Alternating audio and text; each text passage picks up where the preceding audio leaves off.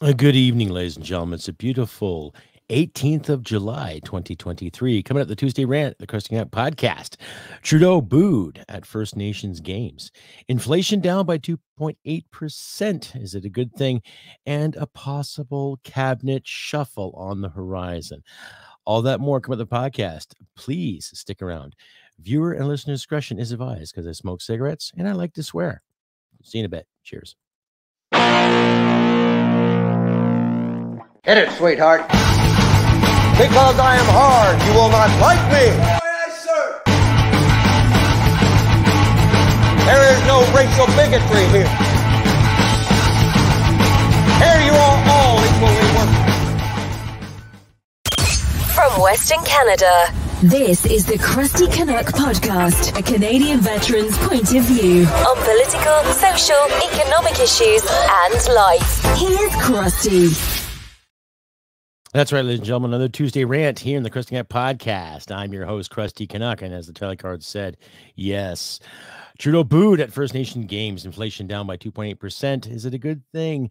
And possible cabinet shuffle. That's right. Well, anyone who boos Justin Trudeau and his party and all his BS that he has stood for the past eight years, I would say all the power to him. Why? Why not? Because uh, Justin Trudeau has screwed around the First Nations and veterans and seniors, and you, my wonderful fans and friends out there, the taxpayers alike, the past uh, eight years. So since 2015, everything that Justin Trudeau has discussed or laid out or planned to do, well, some of it he's planned to do. He's planned to tax us and screw us highly and heavily, of course. But hey, you know, what can we do about that kind of thing, right? You know, people like to say that taxes are are what makes the civilized world go round. That's the price of living in a civilized society. Taxes, taxes, pour that shit on everything. More taxes, more taxes. Two carbon taxes plus GST, higher income taxes, right? Paying for food, paying for everything else, just to keep Justin and his climate ideologues happy, right? That's what it is. Anyway, special thank you out there to uh, the fine people at Northern uh, Perspective. I was on their live stream there uh, Sunday night, uh, minus some technical issues. I had a great time, great talk. It was good.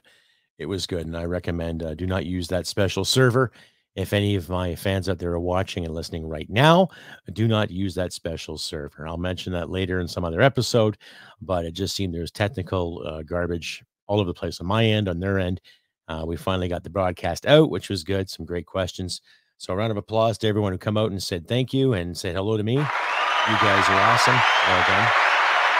And just a reminder, too, ladies and gentlemen, if you like and hear what you see, please click like and subscribe. Share this podcast all over your social media platforms and keep the Canadian algorithm alive and strong and well.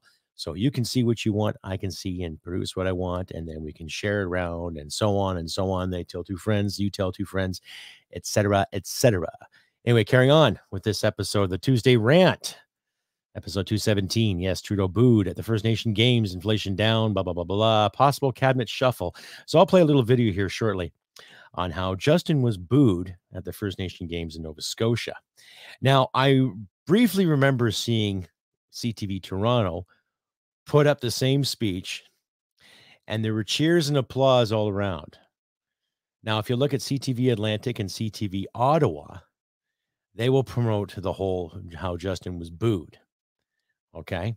So it's really going to give you insight on how things are really turning out for the Trudeau conglomerate. And I won't call it the Liberal Party of Canada because, firstly, the Liberals have done nothing but tarnish their image as far as I'm concerned. Oh, I can just see the Twitter people just cringing and losing their shit because I have an opinion towards their beloved dear leader's party. Because I remember when the Liberals actually meant something. I remember when the Liberals actually stood up for proper liberalism, not totalitarianism or this woke progressive crap that they try to call politics today. All right. I remember when liberals were actually liberal, meaning they liked the term liberty. They didn't say freedom. They didn't say stupid things like, uh, uh, you know, you know, check your privilege and you should be ashamed and you're just an angry white man. You know, I'm angry. Yeah, I'm a white dude, but I'm not just an angry white man. I'm a taxpayer and I'm a husband and I'm an uncle and I'm a veteran blue collar laborer. Did I mention taxpayer, just like yourself? Yeah, there you go. So, anyhow, carrying on with this episode. So, I, I really don't understand why these individuals, especially in the Liberal cabinet, are doing their damnedest to try to win hearts and minds and win favors again, especially the First Nations people. Okay. Yes, they were the first Canadians. They were first Americans. They were first Mexicans.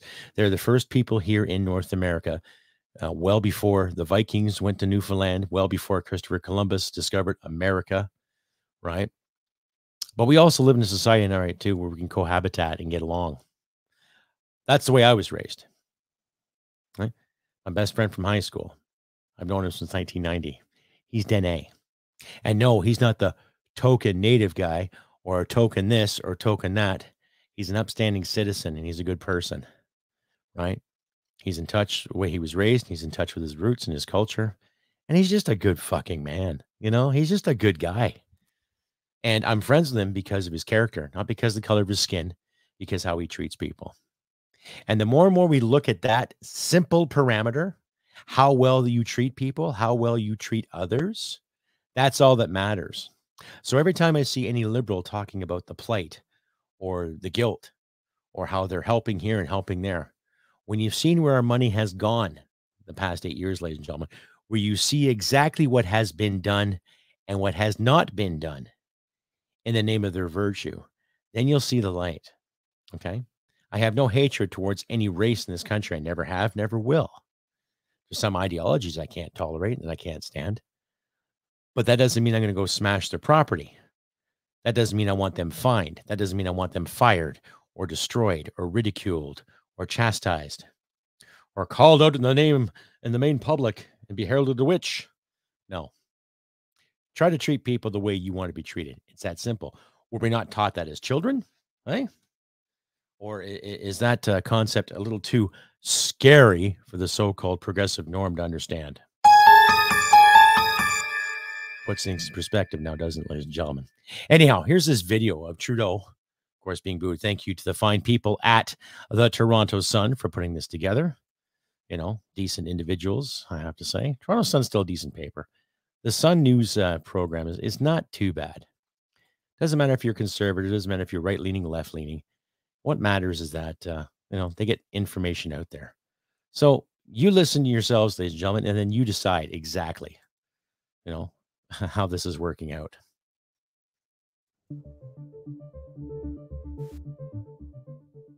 Hello, my friends.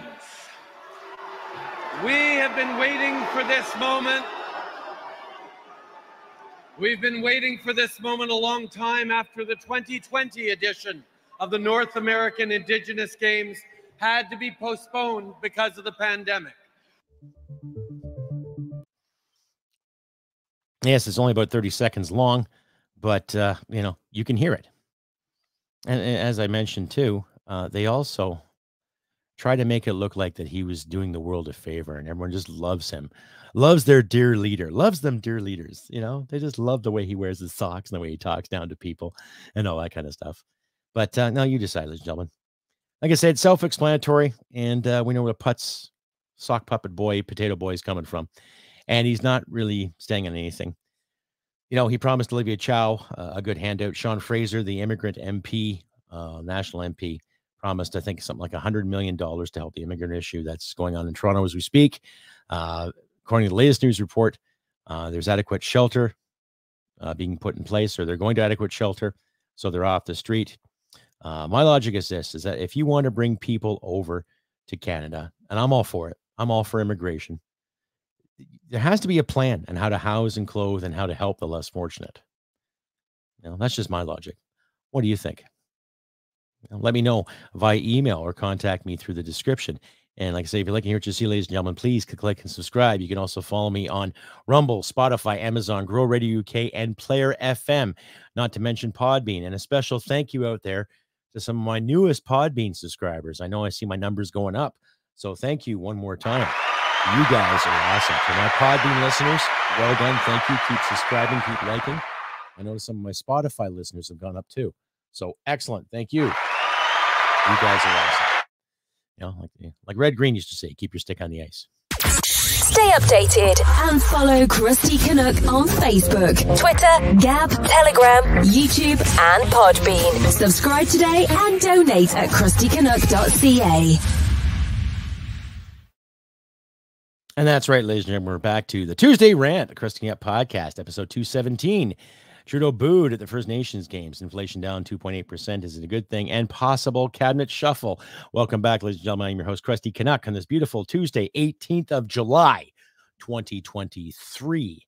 Now, we're going down to 2.8%. Now, on my Twitter feed today, I didn't clip and save or copy and paste, but there's still quite a few liberal supporters out there that are sitting there praising the lemon gods and saying, oh my goodness, we're down with 2.8%. Oh, wow, we're going to have more money again. No, we are not. no, we're getting it up the chuff just a bit slower this time with just a little bit of lubrication, just a little, just a tad bit. That's all. That's all. Right. Because I can guarantee you by the fall, she's going up again. Right. Because our fearless leaders in Ottawa are going to find another excuse to spend more and print more money. Oh, it sounds like a wonderful time, doesn't it? Yes, of course. Oh, no, it's not. Because bend over, here it comes again. So it may be down temporarily, ladies and gentlemen, and I'm an economic expert. I never claimed to be. And there's a majority of us out there that are, that aren't, yada, yada, yada. Make a long story short, it does not look good because there's always going to be something in the pot that's going to ru- ruin the soup. Okay. Because they're making such a big stink of it going down again. Why are grocery prices still up? Why are gas prices still up? Why are rents still up and mortgages still up? With the possibility of them going up even higher again, too, in the next few months. So, to all you pearl clenchers out there and think, oh, that crusty Canuck is such an asshole. How dare he talk this way about our fearless leaders? Don't say I didn't tell you so. well, it doesn't look promising because the more they borrow, the more we got to spend. The more they borrow, the more we got to pay up. The more they borrow, the more we have to look in our wallets and go, hey, this didn't balance itself like you said. Self explanatory. How else do I how else do I emphasize it, ladies and gentlemen? Honestly, how else do I emphasize it? Right? Now, there's also rumblings too that, uh, well, they're not really rumblings. This is uh, some taxpayer stuff I got from the Toronto Sun as well here. I'll just cue it up. Now, during all these inflammatory or inflationary issues that have happened, okay, that have happened in the past little while, okay, uh, a lot of bonuses were handed out. And I'll leave links in the description for you to follow there too, ladies and gentlemen. But uh, while we're struggling, trying to get things done while we're trying to get things paid off and keep our heads above water.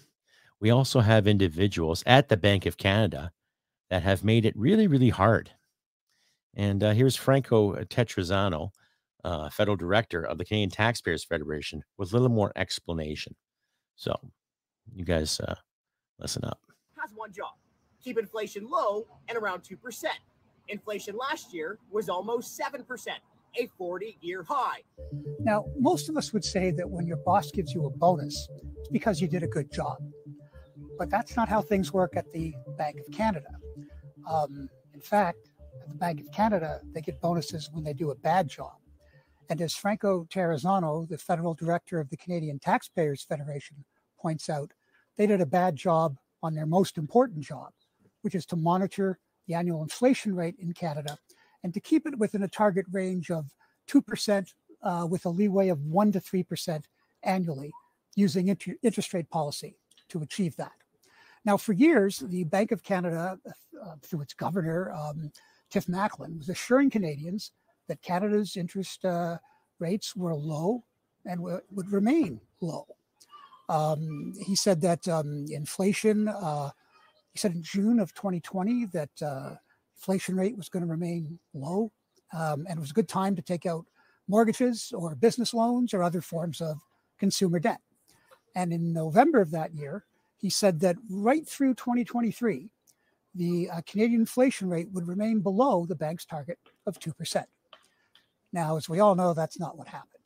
By June of 2022, um, the Canadian inflation rate was 8.1%, the highest rate in 39 years. And so, to deal with that, the uh, Bank of Canada, uh, prior to that, began raising um, the, the bank uh, interest rate, which of course affects all other interest rates involving consumer loans. And the bank raised its key rate 20 fold in 16 months from 0.25% interest in March rates. 22 to 5.0% last week. And that means all kinds of Canadians with debt are paying way more uh, today uh, than they were um, uh, several years ago, regardless of the Bank of Canada's assurances. Now, as Franco Terrazzano of the Canadian Taxpayers Federation points out, it's odd given that record that from 2020 to 2022, uh, Bank of Canada employees received $55 million in bonuses. That's $55 million. And that's bonuses, not raises. They got $17 million in raises, which I'm not talking about here. You know, people deserve an annual raise. 55 that 55 million can go into better things. In a in a, a bank where federal taxpayers pay for and where almost half make over $100,000 a year. Now, um, while interest rates were rising and, and inflation was rising, the uh, deputy governor of the of the bank um, said that yes, we missed our target and we should be held accountable for that. Well, how do you hold people accountable when you gave them $55 million in bonuses? Now, on Tuesday, Statistics Canada announced that the inflation rate has dropped to 2.8%. That's the good news. The bad news is that necessities like groceries are still up 9.1% over last year, and mortgage uh, interest costs up 30% over last year. Um, you sort of dread to think what the Bank of Canada thinks its bonuses should be for this year when they come. I'm Laurie Goldstein of Sun Media. We're always interested in hearing your views, and please follow us on Twitter, Facebook, and our YouTube channel.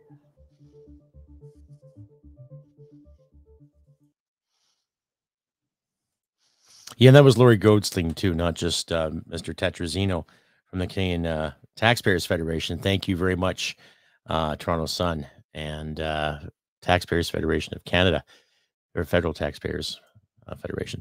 Anyhow, as I'm saying, it doesn't look going to look good for renters and mortgages and groceries too.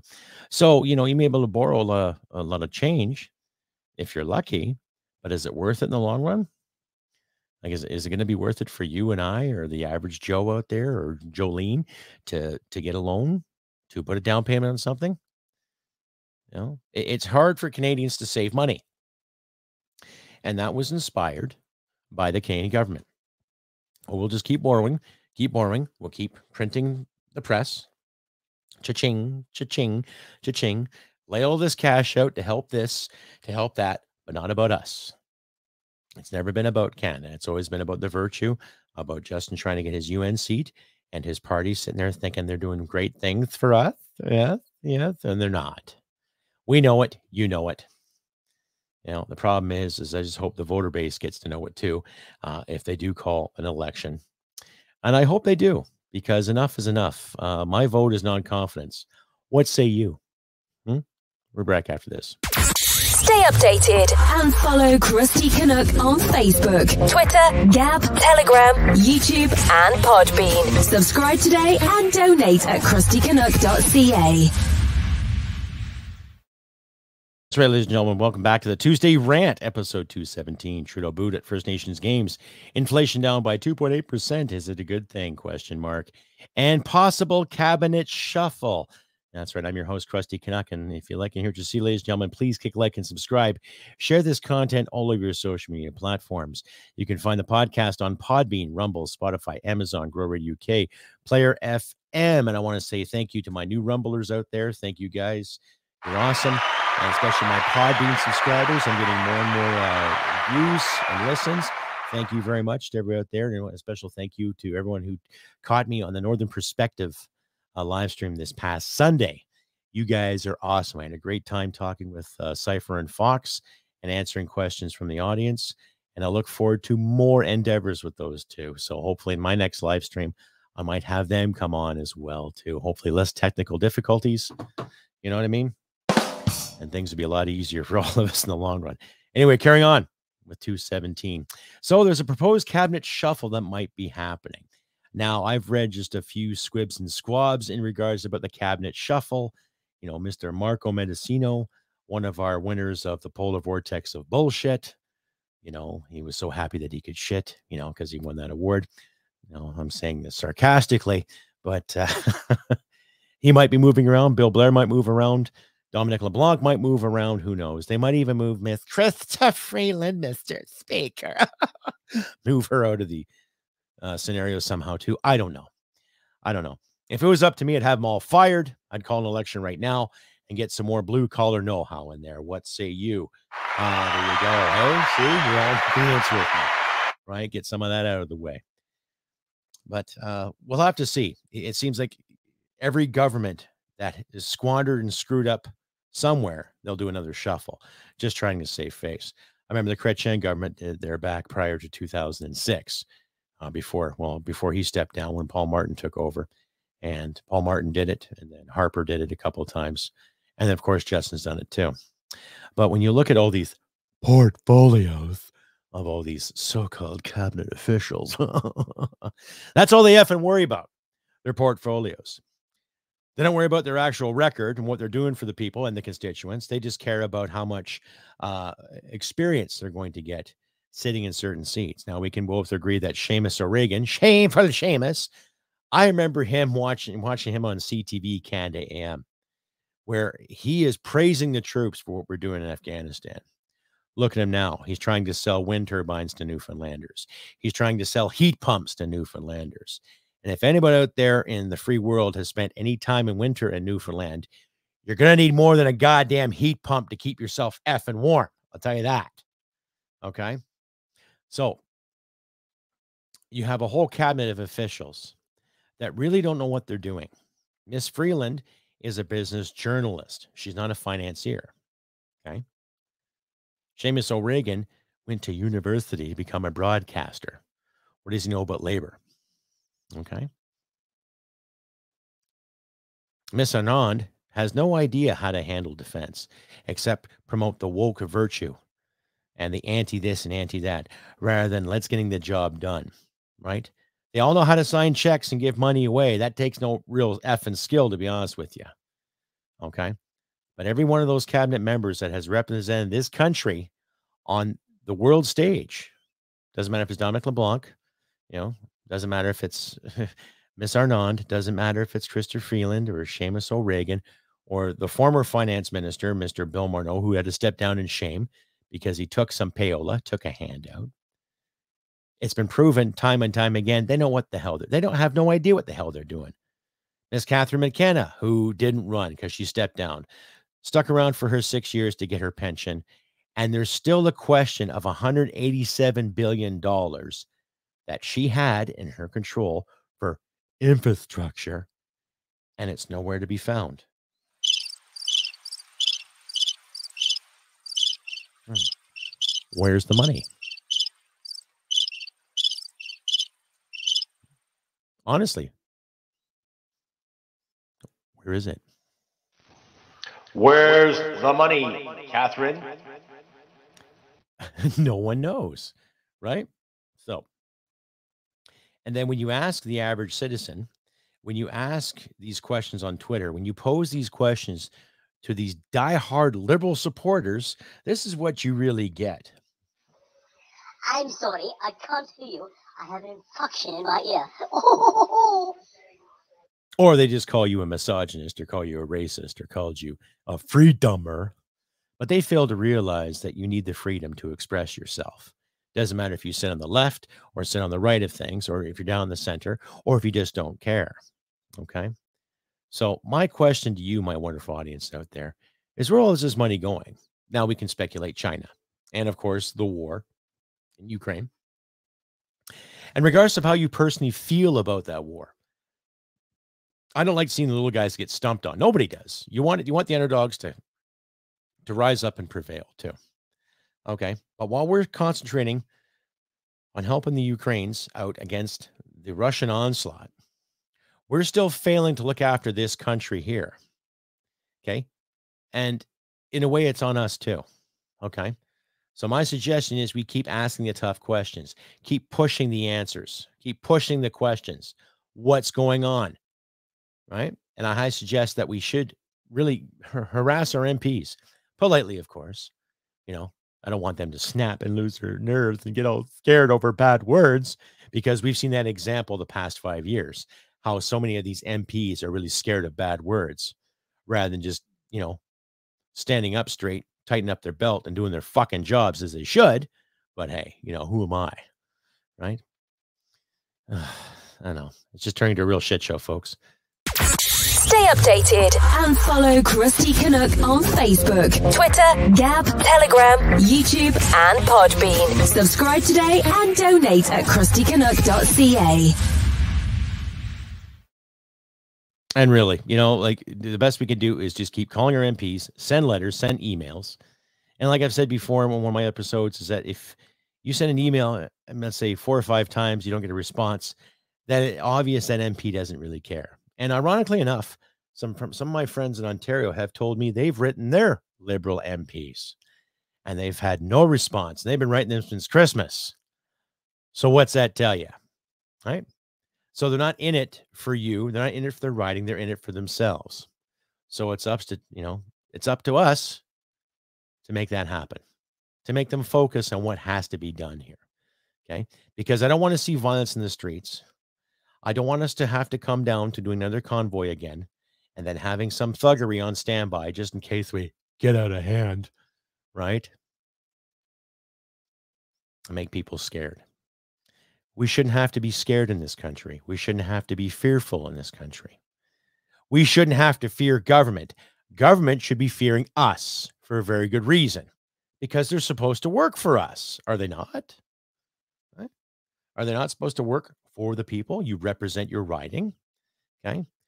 I would say we need election reform in regards to certain ridings, especially the GTA and greater Montreal areas, and especially the greater Ottawa areas too proper representation and actually get people in parliament that want to represent their ridings more so than their party.